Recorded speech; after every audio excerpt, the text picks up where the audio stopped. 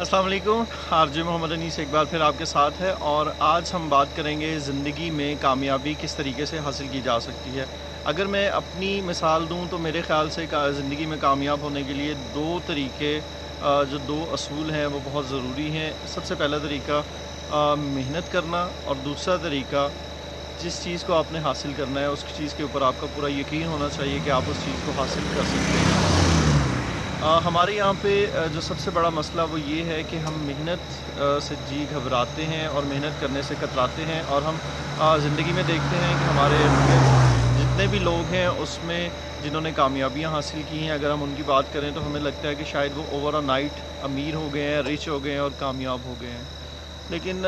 اگر آپ اس کو تھوڑا سا اس کا بیک گراؤنڈ دیکھیں تو یہاں پر یہ بات بالکل واضح ہے کہ جتنے بھی لوگ ہیں، انہوں نے کامیابی حاصل کی ہیں، انہوں نے اس کے لیے بے تحاشا محنت بھی کی ہے، لگن کے ساتھ کام کیا اور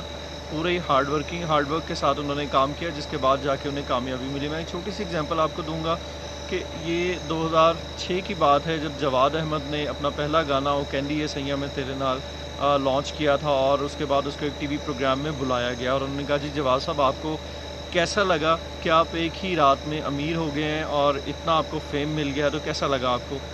تو جواد نے جو بات کی تھی وہ مجھے آج بھی یاد ہے، اس نے کہا تھا کہ لوگوں کو میری ایک رات میں ایک گانے کی سکسیس یاد ہے، لیکن اس کے پیچھے جو میری دس سال کی محنت ہے وہ یاد نہیں ہے۔ اینڈ آئی اسٹل ریمبر کہ نائنٹین نائنٹی نائن میں میں نے وزٹ کیا تھا گورنمنٹ کالج لاہور کا۔ اور وہاں پہ میرے دوست نے بتایا تھا کہ جی رات یہاں پہ ایک کانسرٹ ہوا ہے جس میں ایک وہ نیا لڑکا سنگر آیا ہوا ہے جس کا نام جواد احمد ہے۔ نائنٹی نائن سے لے کے ٹو تھاؤزنڈ سکس سکس تک کا جو سفر تھا، وہ جواد احمد نے طے کیا اور اس کے بعد جا کے اس کو زندگی میں کامیابی ملی۔ تو کہنے کا مطلب یہ ہے کہ اگر آپ نے کامیاب ہونا ہے تو آپ سب سے پہلے اپنا گول ڈیفائن کریں، اس گول کے پیچھے پھر آپ پڑ جائیں اور پوری محنت کے ساتھ، لگن کے ساتھ ڈیڈیکیشن کے ساتھ کام کریں۔ ایسا نہیں ہے کہ آپ نے رات کو ایک کام کیا اور صبح کو آپ فیمس ہو جائیں گے، آپ کو فیم مل جائے گا، آپ کامیاب ہو جائیں گے، آپ کو دولت مل جائے گی، ایسا کچھ بھی نہیں ہے۔ تو میرا اس ویڈیو میں آپ کو جو میسیج دینے کا مقصد ہے وہ یہ ہے کہ آپ محنت کریں اپنا گول بنائیں اور اس کے بعد اس گول کو حاصل کرنے کے لیے بھرپور محنت کریں انشاءاللہ کامیابی آپ کو ملے گی this video. Don't forget to like this video.